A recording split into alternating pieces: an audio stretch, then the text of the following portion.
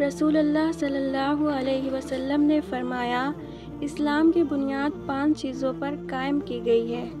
अव्वल, गवाही देना कि अल्लाह के सिवा कोई मबूद नहीं और बेशक हज़रत मोहम्मद सल्लल्लाहु अलैहि वसल्लम अल्लाह के सच्चे रसूल हैं और नमाज़ कायम करना और ज़क़़त अदा करना और हज करना और रमज़ान के रोज़े रखना।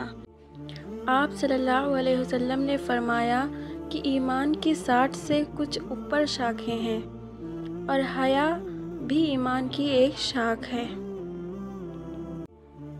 आप सल्लल्लाहु अलैहि वसल्लम ने फरमाया, मुनाफिक की अलामतें तीन हैं। जब बात करे, झूठ बोले, जब वादा करे, उसके ख़िलाफ़ करे, और जब उसको अमीन बनाया जाए तो ख़यानत करे। एक आदमी ने रसूल अल्लाह सल्लल्लाहु अलैहि वसल्लम से पूछा, कौन सा इस्लाम बेहतर है? आप सल्लल्लाहु अलैहि वसल्लम ने फरमाया कि, तू खाना खिलाए और हर शख्स को सलाम करे ख्वा उसको तू जानता हो या ना जानता हो।